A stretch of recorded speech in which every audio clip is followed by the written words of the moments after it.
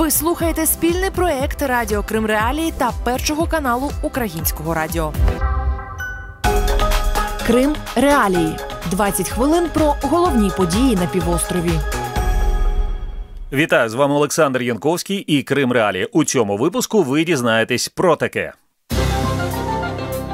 Кримчанам обіцяють трильйон, якщо знайдуть по приватних кишенях. То есть таких инвесторов, вот э, горе-инвесторов в Крыму много. Новий російський закон про поліцію, що зміниться в реаліях окупованого Криму. это дает возможность большему полицейскому беспределу. Віце-прем'єр-міністр уряду Росії Марат Хуснулі, якого медіа називають куратором Криму, затвердив програму залучення 1 трильйона рублів приватних інвестицій до економіки окупованого півострова. Ці гроші планується залучити до 2025 року. За інформацією уряду Росії, дорожня карта приватних інвестицій для Криму насамперед спрямована на підтримку туристичної галузі і житлового будівництва. Російські чиновники не вперше заявляють про плани залучити до Криму 1 трильйон рублів приватних інвесторів. От що про це говорив Марат Хуснулін в ефірі телеканалу Росія 24 у серпні цього року.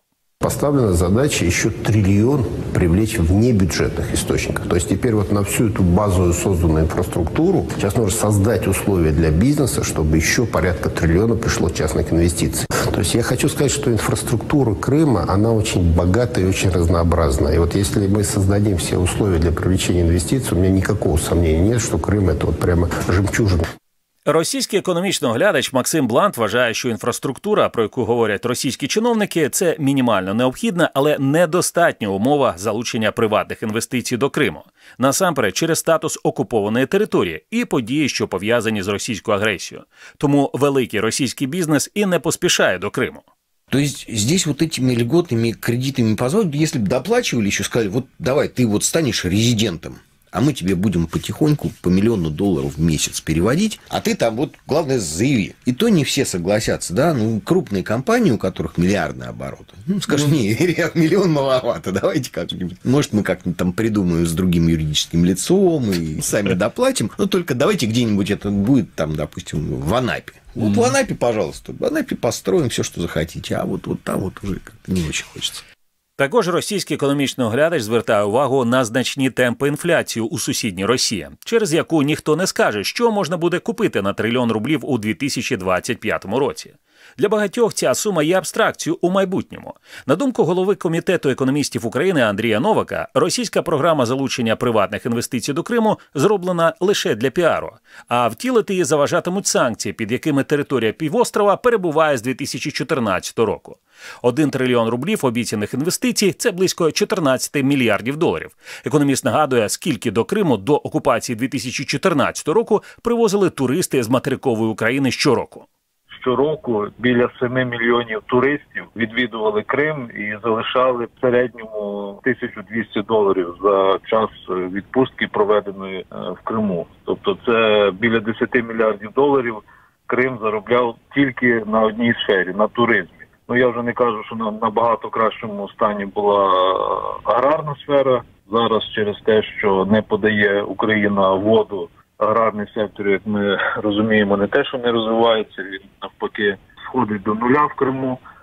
Для залучення інвестицій на окупований півострів російські чиновники обіцяють надавати пільгові кредити учасникам вільної економічної зони в Криму. Прем'єр-міністр сусідньої Росії Михайло Мішустін вже затвердив правила надання пільгових позик її резидентам.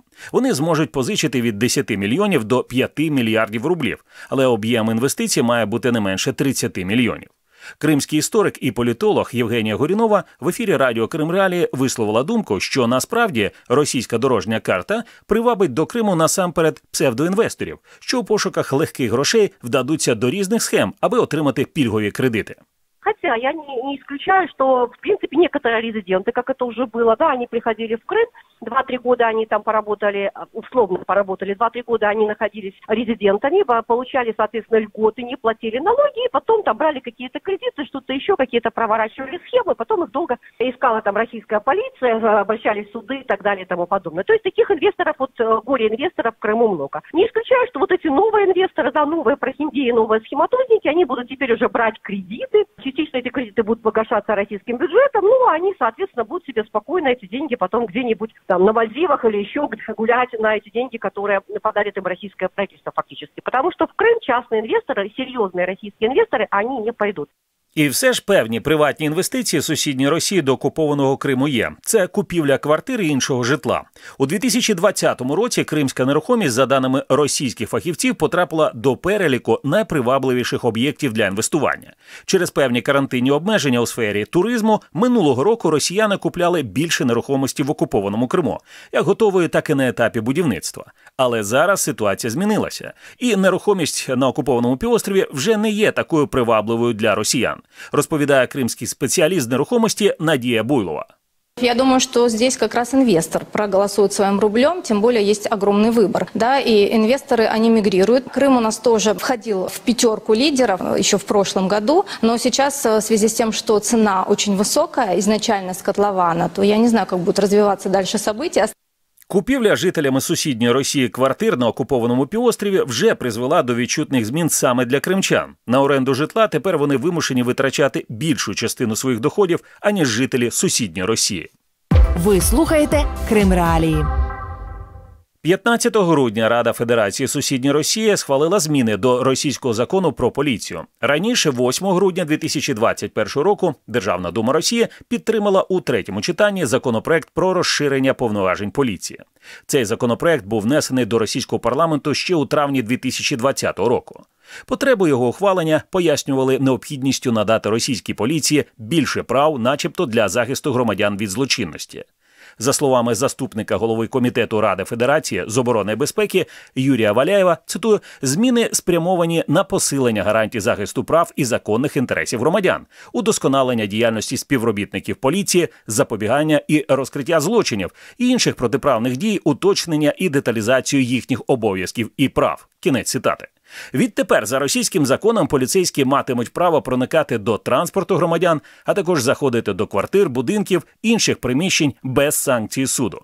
Член меджлісу кримсько-татарського народу Ескандер Барієв вважає, що насправді цей закон ухвалювали не для того, аби боротися із злочинністю.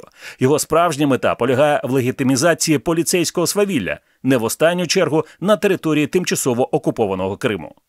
Данная возможность, которая законодательно урегулирована Российской Федерацией, когда полицейские российские смогут там без каких-либо решений предварительных скрывать машины или заходить в дома, это дает возможность большему полицейскому беспределу. И, соответственно, конечно же, это выгодно только для авторитарных режимов, которые, соответственно, и используют полицию в виде ресурса давления на жителей, на граждан, на обычных людей. Конечно же, в первую очередь будут жертвами, опять же, наши соотечественники, соотечественники, и это принимается не для того, чтобы было лучше людям, а для того, чтобы больше запугивать людей. Крым здесь не исключение, а Крым, наоборот, будет, наверное, в этом плане как раз-таки тем маркером, когда оккупанты э, будут злоупотреблять подобным законом. Український журналіст Криму Микола Семена, що переслідувався в окупованому Криму за свою професійну діяльність і був засуджений підконтрольним Росії судом, вважає, що новий російський закон, який розширює права поліції і дозволяє без санкції суду скривати автомобілі і заходити до житла, ухвалено насамперед для того, аби зняти з російських поліцейських відповідальність за будь-які дії. На этом, конечно, они не остановятся, и в образе полиции мы все больше будем иметь в России внесудебный единовластный орган, для которого не будет существовать никаких ни законов, ни запретов. Ведь ясно же, что для того, чтобы вскрыть автомобиль, можно придумать тысячу причин. А тем более при том, когда владелец не будет присутствовать. Там уже он после прихода своего, когда ему сообщаться, он обнаружит, может обнаружить и оружие, и наркотики, и бомбу, и гранату, и листовки, и экстремистскую литературу. И все, что нужно будет полицейским, он там и полностью обнаружит. Кримський адвокат Айдера Заматов звертає увагу на те, що новий російський закон про поліцію фактично нівелює право приватної власності і таким чином може бути оскаржений у конституційному суді. Я думаю, что найдутся люди, которые, ну, не согласны, их будет много, и им стоит обращаться в Конституционный суд для того, чтобы Конституционный суд сказал, а действительно ли это соответствует Конституции. По мне не соответствует, но по мне вот абсолютно не соответствует. Это не способ обеспечения правоохранительной системой. Ну, цель же правоохранительной системы, чтобы обеспечить безопасность граждан. Но в данном случае я считаю, что кто-то пролоббировал вот эти вот поправки для того, чтобы у правоохранителей было просто больше полномочий и, соответственно, не было уже фактора нарушения права частной собственности. И нельзя уже будет говорить о том, что у него не было разрешения или там решения суда. У него было такое право в соответствии с новыми поправками закона поліції. Конституційний суд сусідньої Росії наймовірніше визнає закон про розширення прав поліцейських таким, що не порушує російську конституцію. Так вважає російський юрист, колишній адвокат українських політв'язнів у Росії Марк Фейгін. У коментарі Крим Реалії він зазначив, що далі буде позбавлення можливості адвокатів, хоч якимось чином захищати громадян. А в якості прикладу навів ситуацію з кримським адвокатом Едемом Семедляєвим, який був заарештований на 12 діб в окупованому Криму. Которого заставили, несмотря на то, что он спецсубъект, так трактуется его статус по законодательству, чуть ли не личный досмотр устроить в момент, когда он осуществлял свои полномочия как адвокат, в соответствии закону адвокатуре, адвокатской деятельности. А мы говорим об обычных гражданах, физических лицах. В Крыму, конечно, это будет использоваться, но я повторяю, эта ситуация по существу не меняет. Практика, которая без того уже имеет место в том же Крыму, потому что произвол там, конечно, сильнее, потому что есть некий политическая установка установка на ущемление прав нелояльного населения, прежде всего к крымским татарам. Потому что они как бы организованная группа, их легко идентифицировать. Вот к ним эти меры применяются. Також правозахисники нагадують, що новий російський закон, який дозволив російським поліцейським без санкцій суду проникати до транспортних засобів і житла громадян, насправді лише легалізує російську практику, яку після 2014 року ця держава поширила і на тимчасово окупований Крим. В ефірі Крим Реалії. Печерні міста Криму опинилися під загрозою знищення. Функционирование такой инфраструктуры может нанести урон культурному наследию. І чому щеплення російською вакциною не звільняє від потреби зробити ПЛР-тест? Якщо у людини є вакцинація спутником В, вона не признана Всесвітньою організацією охорони здоров'я. Ви слухаєте Крим Реалія. Кримські змі повідомляють про забудову пам'ятника історії печерного міста Ескій Кермен. За їхню інформацією, восени туристи виявили, що у балці Джиндере у Бахчисарайському районі Криму просто на ґрунтовій дорозі з'явилися некапітальні будівлі. Вони розташовані на шляху від села Залісне до печерного міста Ескі-Кермен в Криму. Середньовічне місто у скелях Ескі-Кермен пам'ятка культурної спадщини України національного значення. Росія вважає печерне місто в Криму цитую об'єктом культурної спадщини народів Росії федерального значення. Наразі йдеться про забудову не самого печерного міста Ескі-Кермен, а його підніжжя. Зважаючи на відео, що публікують кримські туристи, активну забудову цієї місцевості помітили ще у квітні 2021 року. Кримський фермер Олександр Горковенко повідомив в ефірі Радіо Крим Ралі, що на землях сільгоспризначення біля підніжжя Ескікермена зводить котеджне містечко місцевий фермер Михайло Шеремета. Це стало можливим завдяки корупції, як в українських, так і в російських реаліях, вважає Горковенко.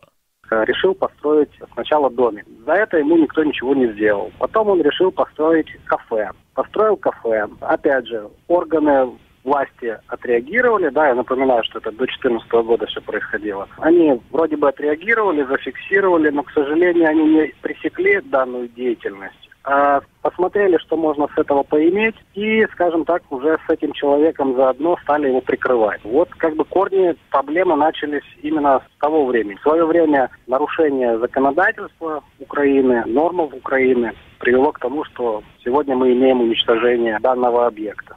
Земельні ділянки, що забудовуються, відведені під сільгоспризначення. Це зафіксовано у кадастровій карті Росії, що окупувала Крим. На таких землях заборонено будівництво. Олександр Горьковенко каже, що коли забудова підніжжя Ескі Кермена активізувалася, місцеві жителі намагалися залучити правоохоронні органи, але нічого не досягли. Крим Реалії намагалися зв'язатися телефоном із Михайлом Шереметою, одним із власників земельної ділянки, яка забудовується поруч із печерним містом. У соцмережах він рекламує свою екосадибу Ескі Кермен. По одному із зазначених телефонів нам повідомили, що Шеремета перебуває за кордоном. Голова Кримського антикорупційного комітету Ілля Бочедворов в ефірі Радіо Крим Реалії заявив, що у забудовника території поряд з Скікерменом є зв'язки у кримській владі, які дозволяють робити практично все, що завгодно. Был депутатом от партии регионов в свое время сельского поселения вот этого Красный Мак. Был уже при Российской Федерации депутатом, соответственно, от партии Единая Россия. И достаточно длительное время он был главой сельского поселения Красный Мак. Потом ушел в отставку. И так и сын вот, Михаил Шеремета, он, соответственно, там зампрокурора одного из районов города Севастополя. За даними сайту російської прокуратури окупованого Севастополя, В'ячеслав Михайлович Шеремета заступник прокурора Гагарінського району міста. Ілля Бочидворов вважає, що кримчанам, незгодними забудовою навколо Ескі Кермена, не варто опускати руки, а слід добиватися в органах влади її припинення і оприлюднити результати цієї роботи. Кримський активіст, краєзнавець Едем Дудаков каже, поки що немає повної інформації про те, що саме будують у ескій Кермена. Він зазначає, що будь-які роботи там можуть завдати шкоди пам'ятнику історії. За інформацією Дудакова, приховані від громадськості забудови відбуваються і в інших регіонах Криму, тому що насправді відсутні органи місцевого самоврядування, і місцева громада не може впливати на процес розподілу землі. Там есть трюки у местной власти, в том числе и у республиканской власти. Это сложно, потому что когда общественность не ведет контроль, вот так и получается. До 2014 года достаточно было одного такого сигнала, чтобы оппозиция поднялась, и у правящей партии на тот момент были проблемы, все включались, так сказать, в процесс остановки такого строительства. Сейчас этого нету, сейчас такое единовласие, так сказать. Кандидат історичних наук, начальник інкерманського загону Севастопольської археологічної експедиції Евеліна Кравченко називає печерне місто Еский Кермен унікальним явищем і європейським феноменом не лише для Криму, а й для всього півдня України. У ньому з часів середньовіччя збереглися унікальні розписи і фрески, зокрема у церкві трьох вершників. Схожі об'єкти, за словами експерта, є у південній Італії Греції, де вони охороняються міжнародними конвенціями, що забороняють будівництво поряд туристичних баз. Это цивилизованный подход, который регламентируется всеми конвенциями, законодательными подзаконными актами, как Украины, так и международного права, ЮНЕСКО, других международных организаций, которые регламентируют такие инфраструктуру вокруг таких объектов. Памятник должен быть доступен, должен быть в доступе для всех людей. Функционирование такой инфраструктуры может нанести урон культурному наследию в пределах природы. Он уже приобрел свою собственную экологическую такую систему, ее не, не стоит нарушать. Екс-глава Бахчисарайської районної державної адміністрації, заступник голови меджлісу кримсько-татарського народу Ельмі Омєров в ефірі Радіо Крим Реалії припустив, що проекти біля пам'ятника Еский Кермен будуть направлені не на розвиток туризму, а на переписування історії і спотворення історичної пам'яті. Крим Реалії 20 хвилин про головні події на півострові. Міністерство реінтеграції окупованих територій України затвердило перелік товарів, обмежених або заборонених до перевезення через адміністративний кордон між Кримом і материковою Україною. З 21 листопада на пунктах пропуску Чонгар і Каланчак немає ані митників, ані процедури митного огляду. Помічник начальника Херсонського прикордонного загоду Іван Шевцов роз'яснив нові правила проходження контрольних пунктів, відповідаючи на запитання кримчан, що масово надходять до редакції Крим Реалія. Зокрема, він нагадав, що 7 грудня максимально дозволена для перевезення сума грошових коштів на одну людину 100 тисяч гривень або еквівалент в іншій валюті. На більші суми потрібно мати документи, що підтверджують походження грошей. Ми будемо враховувати те, що у громадян, які проживають на території окупованого Криму, немає можливості оформити на материку нотаріально договір купівлі-продажу. Тому ми будемо враховувати усі документи, які підтверджують законність отримання даної суми. Це може бути або договір купівлі-продажу, або виписка з банку про те, що, наприклад, громадянин зняв депозит. Це саме був його депозит. А от довідки про щеплення російською вакциною Супутнік Ві не позбавляють від самоізоляції або проведення тесту на коронавірус. Причому тест можна зробити безпосередньо на пункті пропуску, говорить помічник начальника Херсонського прикордонного загону Іван Шевцов. Якщо у людини є вакцинація спутником В, вона не признана Всесвітньою організацією охорони здоров'я. В такому випадку людина може проїхати, але їй необхідно буде встановити додаток вдома та пройти самоізоляцію або здати ПЛР-тест відповідно і видалити дію додатку вдома. Український адвокат, радник із правових питань громадського центру правосуддя Юлія Лісова раніше оскаржила у суді перелік товарів, дозволених до провезення через адмінкордон під час дії вільноекономічної зони Крим. Наразі, на її думку, ситуація погіршилася, оскільки у переліку дозволених до переміщення речей з'явилися приписки: товари з ознаками вживання, товари дозволені до вивезення у разі евакуації чи зміни місця проживання. Адвокат побоюється, що під час перевезення цих товарів доведеться доводити, що вони відповідають зазначеним вимогам. Крім того, лісова зазначає, що російська сторона, яка контролює тимчасово окупований Крим, і досі не зняла обмеження на перетин пунктів пропуску на адмінкордоні з півостровом. Наразі людей без російського паспорта пропускають до Криму лише до найближчих родичів, каже вона. І навіть нерухомість на півострові для російських чиновників не є підставою для допуску українців.